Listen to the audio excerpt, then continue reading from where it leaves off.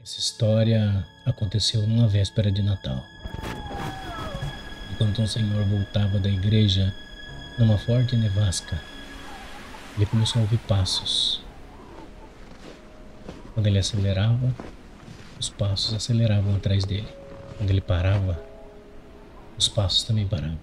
E de repente ele começou a ficar desesperado e caminhar cada vez mais rápido, mais rápido, até que ele se viu obrigado a correr. No entanto, quanto mais ele corria, mais os passos corriam atrás dele, mas ele não tinha coragem de olhar para trás.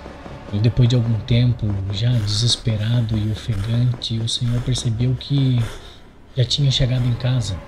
E quando ele chega na porta de casa, ele percebe que os passos já tinham parado e se deu conta que o que estava perseguindo já não o acompanhavam mais.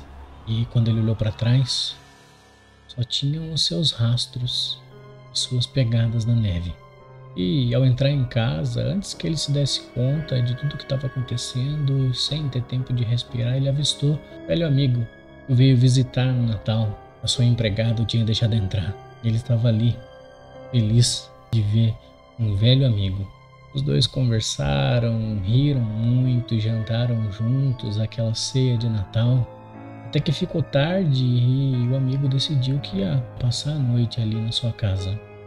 Na manhã seguinte, no dia de Natal, ele vai chamar seu amigo para tomarem café juntos e percebe que a cama está ali, como se ninguém tivesse passado a noite. Ele desce para a cozinha e percebe que ali na mesa de jantar há um prato de comida completamente intocado. O mais intrigante disso é que a empregada insiste que ninguém teria passado a noite ali e que ele não tinha recebido nenhuma visita na noite anterior.